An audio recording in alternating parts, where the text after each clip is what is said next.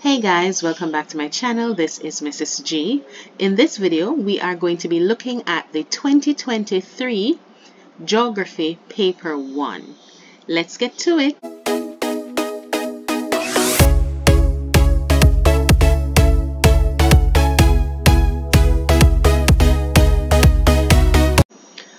So in this video, I am going to be working the paper 1 with you.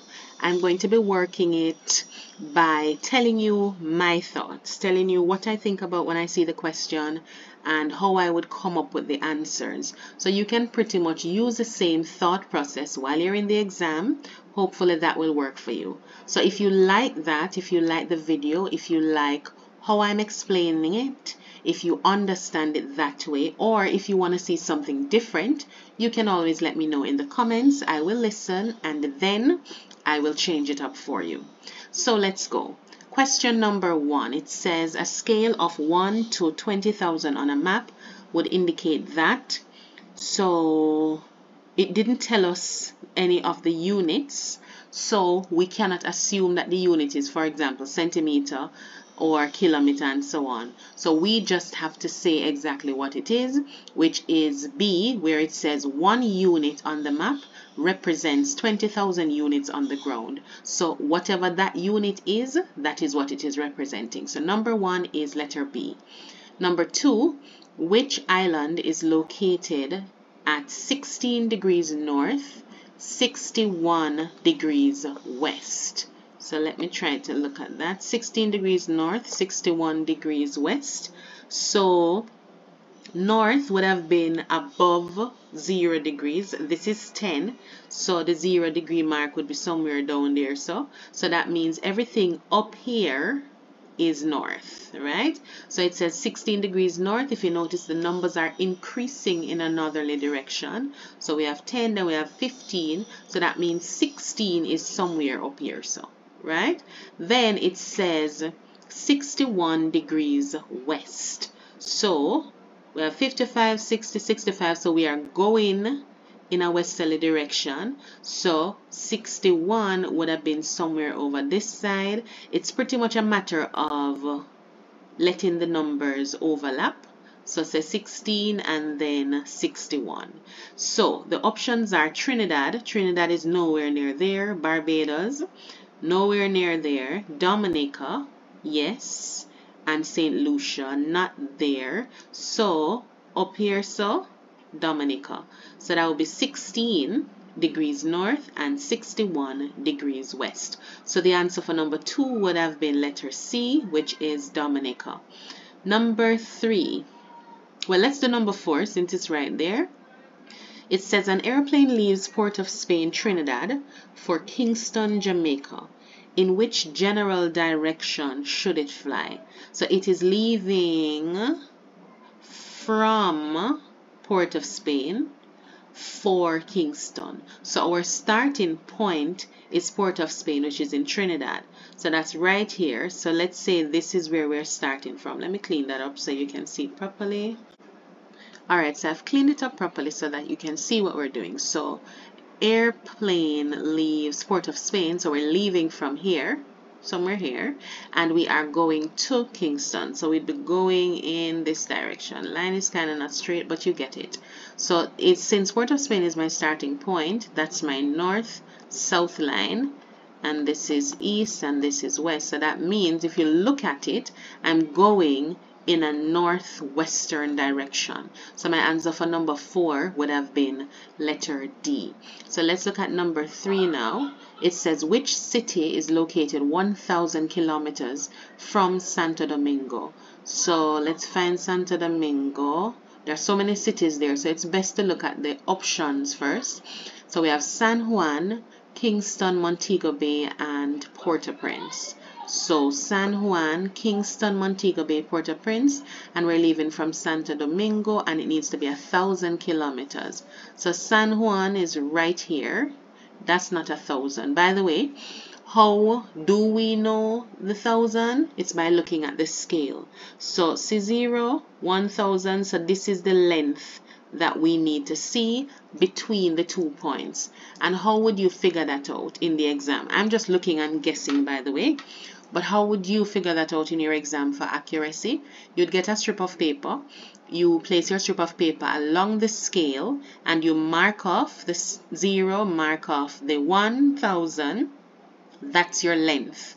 And that now you're going to place that along the different options to try to find which one is the answer. So since we're just kind of looking now, when we look between Santo Domingo and Puerto Rico, no, and San Juan, yes, it would not be a thousand kilometers. The other option, I think one was Montego Bay, one was King and Port-au-Prince, right? So Santo Domingo to Port-au-Prince, it's too close as well. Santo Domingo to Kingston, it, it kind of lookish, not really. So Santo Domingo to Montego Bay looks more like the thousand. So I would put Montego Bay for the answer. So again, when you are doing this in your exam, you would actually take a strip of paper, mark it off to ensure that you have the accurate answer. So if you are watching and you like what you are seeing and you want to see more of that, please subscribe to the channel. I am going to be doing more geography videos where we actually go through the paper and tell you how to figure out the answers to the questions. And like the video, of course, and share it with another geography student. Okay? All right. Items 5 to 7 refer to the following table, which shows the average monthly rainfall and temperature at a particular location in a Caribbean country. What is the average annual temperature at this location? So, all right, I'm not going to assume that you know how to read the, the table. So let me tell you. At the top here, we have month, and then we have all the months going across. So January, February, March, April, May, and so on, right to December. Then we have the temperature in degrees Celsius. This is telling us the temperature for January. So 24 degrees for January and it does the same for all the other months. And rainfall in millimeters. This is telling us the rainfall for January which is 103 millimeters here and it would tell you the same for the other months. So that's the information that you're going to use in order to answer the questions 5, 6 and 7.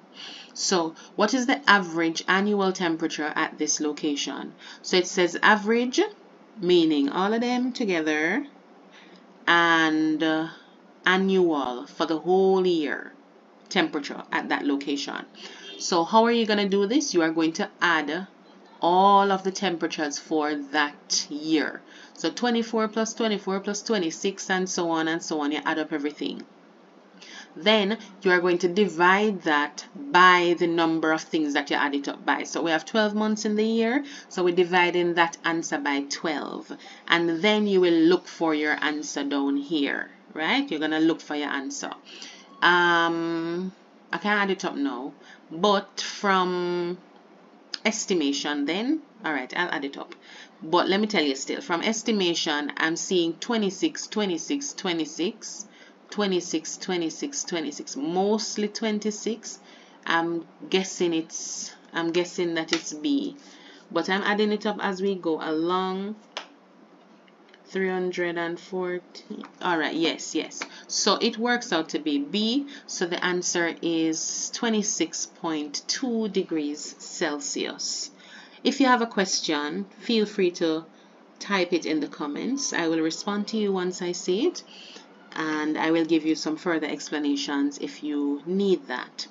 Number six, the rainfall pattern on the table indicates that, and they give you some options, so you have to read each one to figure out which one the answer is. So, rainfall pattern indicates that rainfall occurs throughout the year. So we have 103, 93, 88, and so on. So yes, we're seeing rainfall throughout the year but we're not sure yet. We have to look at the other options first. Most of the rainfall occurs at the beginning of the year. That is not true. We're seeing lots of rainfall happening down in the ending of the year. So that one is out. There are small amounts of rainfall. No. There is little variation in the rainfall from month to month. Um, no, because this is 103, this is 93, then this is 88, then we have a big old 201 there. So we have variation, enough variation between um, the months. So we're going to go with A for number 6. Number seven, the type of climate experienced at this location may be described as. So we have tropical, continental, tropical, marine, equatorial, and savanna. Definitely not savanna. Savanna is super dry. Think um, Lion King kind of vibe. Uh, well, sometimes kind of dry. And then based on the temperature, it is 20 between 24 to 28 tropical marine.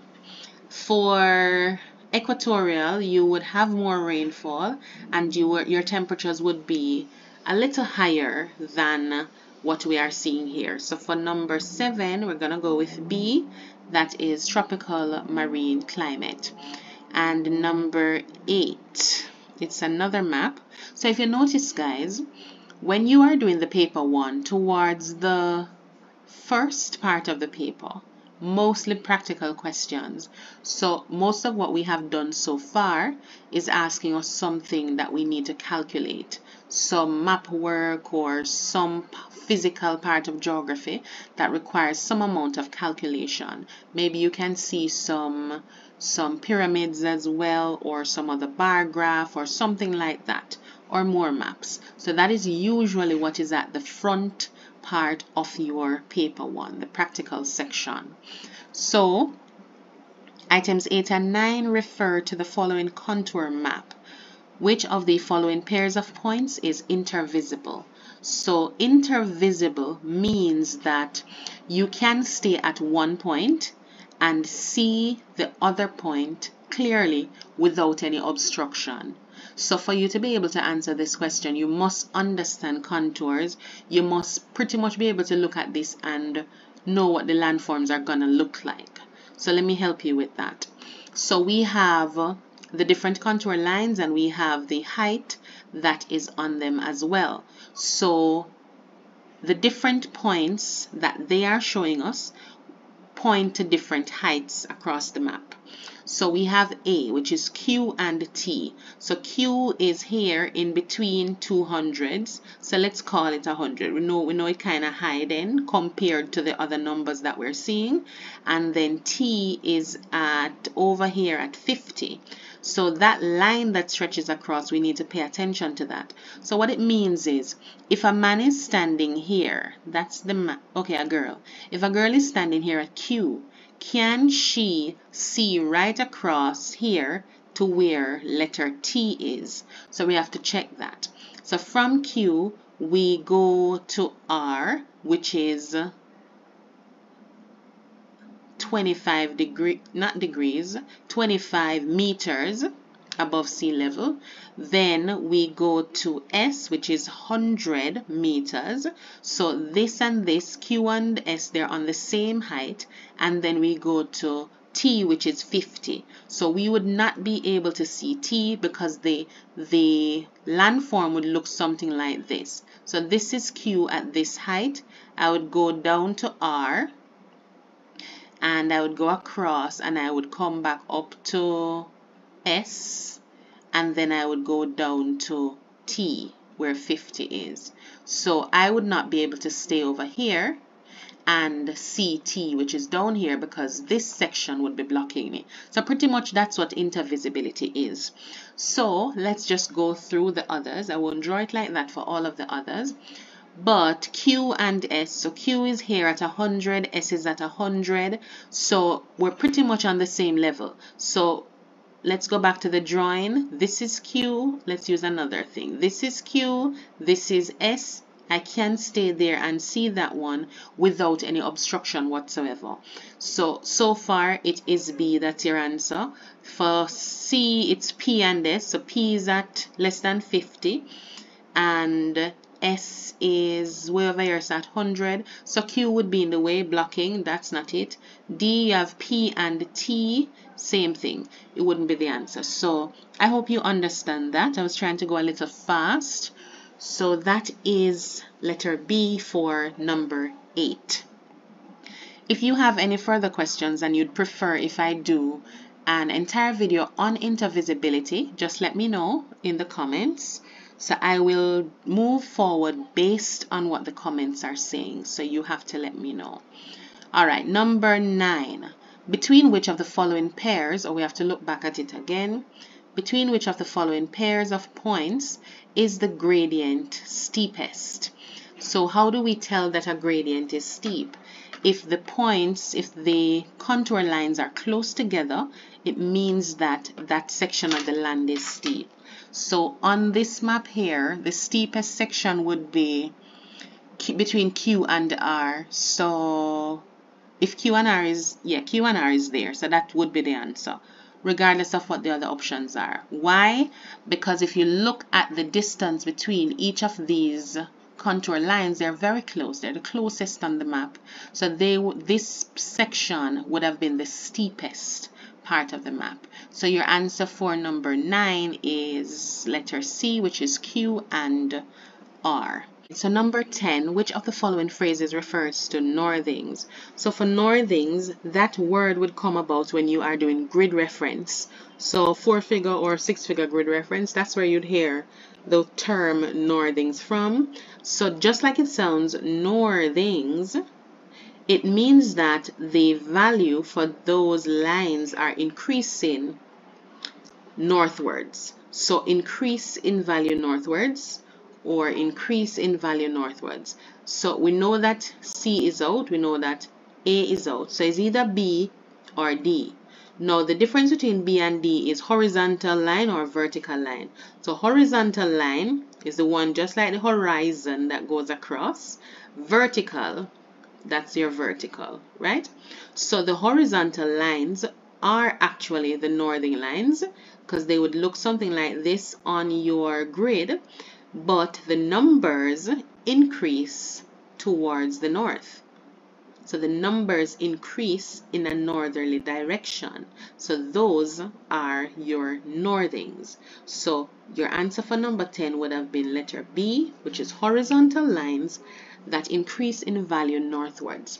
So there is already a grid reference video that I did. So if you don't know grid reference or know how to find it really quickly, you can watch that video. I'll try to pin it somewhere so you can see it somewhere about here, here. So you can find it. Um, so that's B. Number 11 and 12 refer to the following contour sketch map showing points X and W and area Y. All right. The bearing of X from W is approximately, so we have the different options. X from W, so our starting point is W, so this is where we are. And the bearing that we need to find is of X. So how do we find bearing? We draw our north-south line at the starting point. East and west you can do that if you want for balance you know? And then we connect the point to where we are going. So in this case we're going to x because it's at a bearing of x right. Okay? So bearing as you know answers are in degrees you don't have to do all of this you know if you really really know it like that you can pretty much look at these and guess your answer right but let's do it the two ways. How you would do it in your exam, you would take out your protractor, you would draw it up like this, take out your protractor, and then you would measure this angle. That's all right here, so you're measuring that angle. Yeah, but and then you get your answer. But you don't have to do all of that, especially if you know time is against you you can just look at it and tell. So from maths and other knowledge, you would know that angles on a straight line measure 180 degrees. So between north and south there, so that's already 180. So anything below 180 in the options would have been wrong. So this is wrong. This is wrong. So you're left with C and D. You should also know that west is 270 degrees. So that means this is also wrong. Or if you don't know all of that, just think about how close x is to north, which is the 360 because we're going all the way around clockwise, right? So this would have been your answer, which is D for number 11, 315 degrees. Again, if you're not able to do it like that, it's not a problem. Just grab out your protractor real quick and do your measurement. You'll find your answer. Number 12, it says the vertical interval is that's pretty much the distance in the difference in height between two consecutive contour lines, or two contour lines that are right beside each other. So we have 60, 80, 100, 120. In other words, how much are you going up by? We're going up by 20. Our vertical interval is 20. Let's go down to number 13 we are going to stop at probably number 20 or something like that so that the video is not way way too long so if you want to see a part 2 or if you want to see the rest of the paper you can put it in the comments again so that I can know that you actually want to and then I will just go through it. So items 13 and 14 refer to the following sketch map of an area. So for the map all right we're seeing a lot of contour lines again. You can pay attention to your key so you can see what type of area you're dealing with and so on. Question 13 says, which of the following types of settlements will most likely develop between y and x?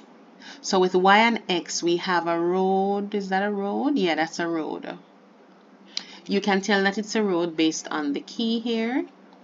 And we can see the road here. It's going all the way across over to Z there, right? And it's between Y and Z. So since it's a roadway, settlement that are formed along a roadway, those would have been given you a linear pattern. So that means it's in a line pretty much. See, just like the word, it's in a line, linear pattern. So that line is what we would expect or with the one that would most likely develop between those two areas. So for 13, my answer is letter A. For 14, oh, we're still using it for 14. Let's go back. It says, what type of farming system is most likely to exist at X? Where is X? Okay, so X here, notice around X, no major contour lines showing us much. So we can see that we pretty much have flat land around here. So lots of flat land. Not only do we see that it's lots of flat land these lines they're telling us something. It's showing us estate boundaries. So you know when you really think about it estate we're kind of thinking plantation large scale farming. So you're looking in here to see which one of these would actually point to large scale farming and that would have been commercial arable farming. Here we go. So what type of farming system is most likely to exist at X? It would have been commercial arable farming. Number 15 another map. It says the landforms shown at x and y respectively are a and it, they're giving you the options. So x is over here y is over here. All right let's understand the map first. So we have the sea so this is zero degree not degrees um, units. So let us say meters zero meters. So that is sea level that means all of this area is relatively flat land up until we get to 50 again I'm gonna say meters. Up until we get to about 50 meters in height and then we'll continue all the way up to 350 so this is not very very high so this would have been a hill not a mountain. So landforms. At X we know that all of this is very flat we know that it's right, we know that all of here says very flat. We know that it's right beside the sea as well. So that is coastal plain or coastal plain. So it said respectively X and Y. So that's the that's the pattern or the order in which the answers should appear. So coastal plain and coastal plain would have been correct for there. So, so we know B is out, we know D is out. So we're eliminating the ones that are not going to be an answer. So we're left with A and C. So the difference between A and C is that A says round-topped hill and C says plateau. I'm going to go with A because the hill is a circular top hill, not a very high landform at all. The plateau, I would expect the plateau to be a lot higher and it does not necessarily need to be circular. It can be any, any kind of shape. You understand? Once it is relatively a flat topped landform. So I'm going to go with A though. If you do not agree, I know sometimes we have teachers on the platform as well. Feel free to comment. I really don't mind. And you can let me know what you think. But I'm going to go with letter A, um, coastal plain and round topped hill for number 15. So let's go to number 16. 16 refers to the following image. So we have, uh, all right, I'm seeing what looks like cows and uh, I don't know, probably coconut trees or something. So the landform shown is most likely to be a cave, doline, cockpit, or crater lake. So I'm eliminating again. I'm taking out cave. I don't see no cave. I am also, I see this body of water here. I'm taking out cockpit and I'm taking out crater lake. Yes, I know it says lake, but why am I taking out crater lake? Crater lake um, suggests volcano. It is from a volcanic landform. It's a volcanic landform, which would mean highland. Then my lake is pretty much inside my highland. So my lake would be inside here. So um, there's absolutely no indication that this is highland. I can see some vehicles over here. So right. So I'm gonna go with Doline. Doline is pretty much a sinkhole with the water in it. So I imagine that this is a karst scenery. So I'm going to go with B. Feel free to let me know what you think, but I think the answer is B. That is what I am selecting. Let's go to 17. The shaded area on the map above is best described as the shaded areas between 23.5 degrees south to 23.5 degrees north of the equator, so that is the tropics. That's where Caribbean people live. Where do you guys live, by the way? Tell me where you live in the comments below. So tropics is the answer for 17. Again, you can subscribe to the channel so that you can get access to more videos. It's not geography only. There are other subjects there as well that you can benefit from number 18 to 22 refers to the following diagram of a Caribbean weather system. The weather system shown in the diagram is a hurricane, cold front, tropical wave, ITCZ. So this is not a hurricane because we're not seeing any hurricane symbols there. I would draw it for you, but I can't draw it very well. It's very ugly. So I'm not going to draw it but it's not a hurricane. So taking that out. Um, cold front symbol is not there either. It is a tropical wave. So you can see the line showing us the separation there, so. And you can see that behind, well, you can see that behind the line here, we have rainy weather. So dark skies here and uh, lots of rain happening here cloudy right? And over this side we have clear skies. And the wind is not very high either. So that is a tropical wave that is letter C for number 18 so I'm gonna stop the video at number 20 if you want to see the rest of the video you can let me know and then I will actually make it. Because I want to know what you guys need help with and then I will create it to help you with it. So let me know. So 19 and 20 they're both from the map so we'll do those. So 19 the line labeled Y represents. So let's find Y. Y is an isobar so those are the lines on the map that would show me places of equal pressure, equal atmospheric pressure. So the same way that you have contour lines that we were looking at earlier, that would show me places of equal height on a map. With an isobar, it is a line, imaginary of course, that is showing me places of equal atmospheric pressure on a map. So that is going to be letter A. And then number 20, I think it needs the map as well. It says the station model behind the line X shows the wind blowing at a speed of. So behind line X. So behind line X, we have uh, over here. So this is showing us the knots, the long barb it's called a barb, B-A-R-B. The long barb is 10 knots and the short barb is, let me write long here so, and the short barb is 5 knots. So what you pretty much do, you pretty much just add them up. So that means that would have been 15 knots.